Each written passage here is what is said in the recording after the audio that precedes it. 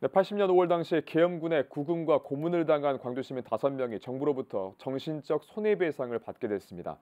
지난 5월 헌법재판소가 5.18 보상법 보상 범위에 대해서 위헌 판결을 내렸기 때문인데요. 이에 따른 관련 입법 논의도 확산되고 있습니다. 앵커 리포트입니다. 1980년 5월 북구 문화동에서 계엄군으로부터 붙잡혀 구금당하고 고문당한 이 씨. 석방되고 나서 우울증과 정신착란, 간질 증상까지 보였습니다. 같은 달 동구 대인동에서 남씨 또한 군에 잡혀서 217일간 구속됐고 모진 가혹행위로 석방 이후에 우울증과 스트레스성 외상장애 때문에 정신과 치료를 받아야 했습니다. 이 씨와 남 씨처럼 이번 소송에 참여한 광주 시민은 모두 5명. 광주지법은 지난 12일 이들에 대해서 정신적 손해배상을 인정하고 일부 승소 판결을 내렸습니다. 기존 5.18 보상법에서 보장한 금액 외에 정신적 피해에 대해서 손해배상하라고 판단한 겁니다. 이와 같은 법원의 판결은 최근 헌법재판소 결정에 따른 것입니다. 헌재는 지난 5월 17일 법률 대리인이 지난 2019년에 제출한 5.18 보상법 16조 2항에 대한 위헌 제청을 받아들이고 정신적 손해배상을 인정했습니다. 기존 5.18 보상법이 국민의 국가배상 청구권을 침해하고 헌법에 위반된다고 판단한 겁니다.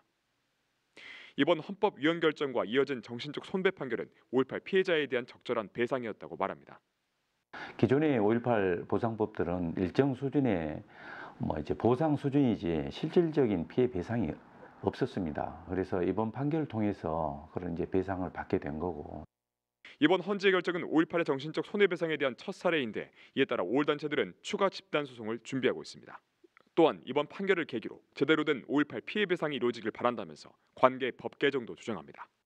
국가가 5.18 특별법을 제정해 놓고 국가 유공자 예우에 관한 법에는 포함되지 않는 모순이 존재하기 때문에 조속히 국가유공자법 제4조를 개정해서 국가유공자로 포함해야 된다고 생각합니다.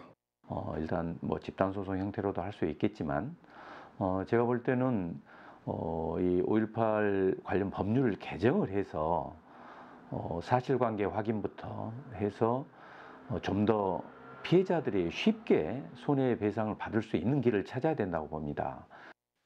이번 판결로 5.18 피해자들에 대한 피해 배상의 길이 열린 가운데 관련 입법 논의도 확산되고 있습니다. CNB 뉴스 정유철입니다.